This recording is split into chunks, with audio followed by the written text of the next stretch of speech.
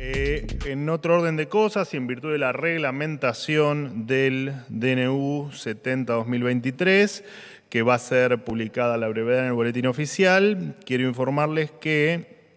eh,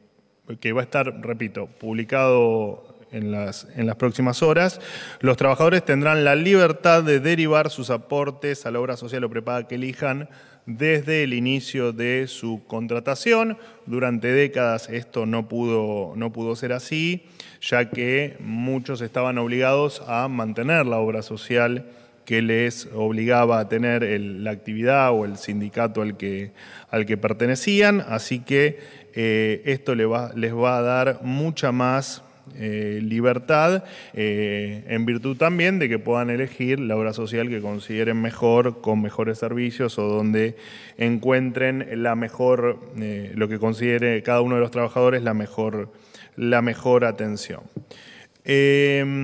En, virtud del proceso que estamos llevando adelante de desmantelamiento de lo que nosotros denominamos la casta política, comentarles también que el Ministerio de Capital Humano denunció ante la justicia irregularidades en la compra de medicamentos destinados a pacientes oncológicos o con patologías crónicas durante la gestión anterior.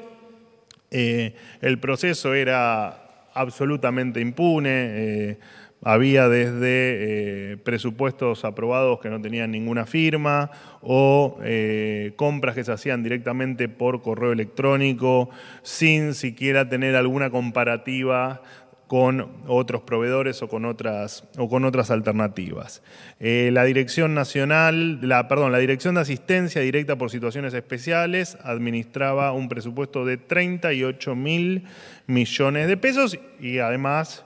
por supuesto, cuando uno habla de este tipo de cuestiones, uno está hablando en definitiva de la cara más cruel de la política o de la casta política. Lo habíamos conversado, lo había anunciado la ministra Bullrich la semana pasada, ¿no? Esto de usar el esquema de asistencia social para eh, el abuso sexual eh, por parte de los piqueteros en Chaco, de algunos funcionarios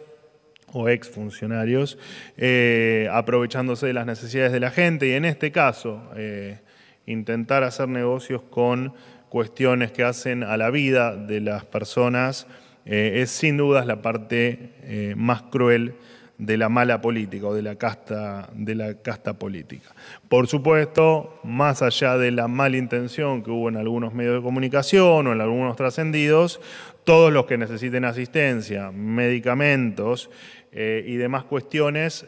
la van a seguir recibiendo, ¿no? Por supuesto que sí, esto es un tema interno de, de administración interna que vamos a cambiar para no solo hacerlo más eficiente, sino para eliminar cualquier tipo de